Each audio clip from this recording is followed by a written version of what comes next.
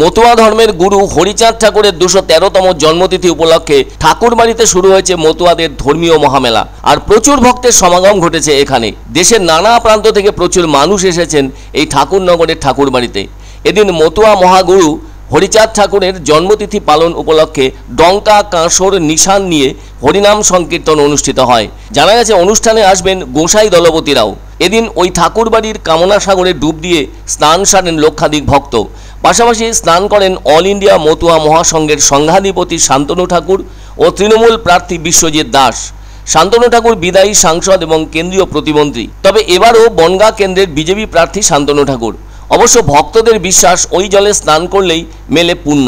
তবে ওই উৎসবকে ঘিরে সেজে উঠেছে সমগ্র এলাকা। ঠাকুরবাড়ির মন্দির সংলগ্ন মাঠেই চলবে সাত দিন ধরে মেলা।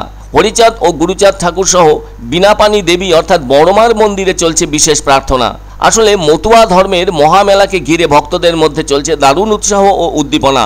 হরিচাঁদ ঠাকুর হলেন মতুয়া সম্প্রদায়ের প্রবর্তক। তিনি সমাজের পিছিয়ে পড়া হিন্দু সম্প্রদায়ের লোকেদের জন্য এবং সমাজের দলিত মানুষদের উন্নয়নের ব্যাপারে বিভিন্ন কাজ করেছিলেন। এই উপলক্ষে হরিচাঁদ ঠাকুরের ছেলে গুরুচাঁদ ঠাকুর উনিশশো বত্রিশ সালের নয় অক্টোবর প্রতিষ্ঠা করেছিলেন মতুয়া হিন্দুদের জন্য একমাত্র সংগঠন শ্রী শ্রী হরিচাঁদ গুরুচাঁদ মিশন। পরবর্তীতে এটি শ্রী শ্রী হরিচাঁদ গুরুচাঁদ মতুয়া মিশন নামে পরিচালিত হয়ে আসছে, যার কেন্দ্রীয় কার্যালয় শ্রীধাম ওরাকান্দি ঠাকুরবাড়িতে অবস্থিত। এই প্রতিষ্ঠানের বর্তমান সভাপতি মহা মতুয়াচার্য শ্রী পদ্মনাভ ঠাকুর সর্বোচ্চ আধ্যাত্মিক গুরু এবং গদি সমাসীন ঠাকুর। পূর্ণ লীলাভূমি হল শ্রীধাম ওরাকান্দি। নমশূদ্র জাতির উৎপত্তি চণ্ডাল জাতি থেকে। আর চণ্ডাল হলো একটি বংশের নাম। আটশো একত্রিশ খ্রিস্টাব্দে নান্নুক চণ্ডাল বংশ স্থাপন করেন। এই বংশের শাসনকাল ছিল আটশো একত্রিশ খ্রিস্টাব্দ থেকে বারোশো পনেরো খ্রিস্টাব্দ পর্যন্ত। ফলে তিনশো চুরাশি বছর রাজত্ব করার পর রাজ ক্ষমতা হারালে বিভিন্ন নিম্নমানের কাজকর্মে তাদেরকে নিযুক্ত করা হয়।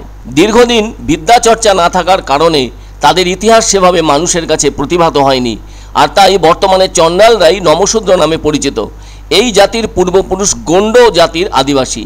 বলা যায়, এই হরিচাঁদ ঠাকুরের জন্ম হয়েছিল আঠারোশো বারো খ্রিস্টাব্দের এগারোই মার্চ অবিভক্ত ভারতের বঙ্গদেশে গোপালগঞ্জ জেলার কাশিয়ানি থানার অন্তর্গত ওরাকান্দির পার্শ্ববর্তী সাফলাডাঙ্গা গ্রামে। তার বাবার নাম ছিল জসমান বৈরাগী এবং মায়ের নাম ছিল অন্নপূর্ণা বৈরাগী। হরিচাঁদ ঠাকুরের প্রাতিষ্ঠানিক শিক্ষা সেভাবে হয়নি। কিন্তু প্রেম ভক্তির কথা সহজ সরলভাবে প্রচার করতেন। তবে বৈষ্ণব পরিবারের জন্ম হওয়ার সুবাদে শাস্ত্র আলোচনার মাধ্যমে হিন্দু ও বৌদ্ধ শাস্ত্র সম্পর্কে জ্ঞান লাভ করেছিলেন তিনি। ফলে তার প্রচলিত সাধন পদ্ধতিকে বলা হয় মতুয়াবাদ। হরিচাঁদের দুই ছেলে গুরুচাঁদ ঠাকুর ও উমাচরণ ঠাকুর।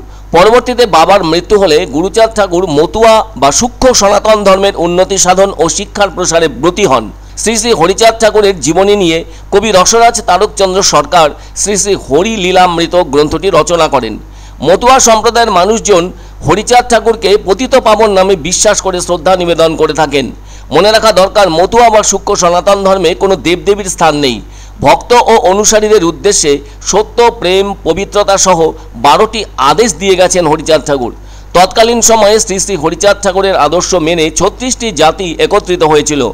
বর্তমান বাংলাদেশের গোপালগঞ্জ জেলার কাশিয়ানী উপজেলার ওরাকান্দিতে হরিচাঁদ ঠাকুরের মূল ঠাকুরবাড়ি অবস্থিত। আর অপরটি পশ্চিমবঙ্গের বনগাঁ ঠাকুরনগরে অবস্থিত, যা একটি মতুয়া ধাম ও তীর্থক্ষেত্রে পরিণত হয়েছে। প্রতি বছর চৈত্র মাসের মধুকৃষ্ণা ত্রয়োদশীতে ঠাকুরবাড়িতে মহাবারুণী পুণ্যস্নান ও মতুয়া মহামেলা অনুষ্ঠিত হয়ে থাকে, যা এদিন থেকেই শুরু হলো।